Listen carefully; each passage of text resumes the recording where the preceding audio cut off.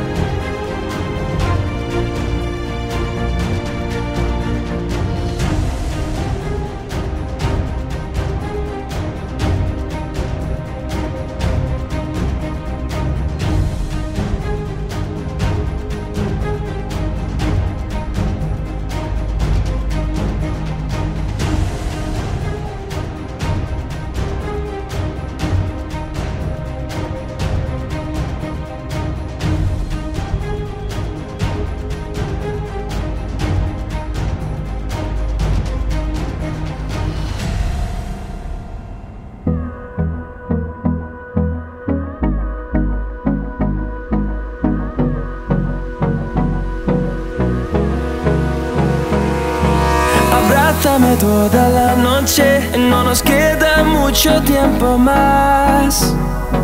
No quiero perder lo que queda. Seguimos siempre la pasión y confiamos solo en el amor. No quiero perder lo que queda. Y más y más allá. A través de la gran oscuridad me convierta en rayos. Y y más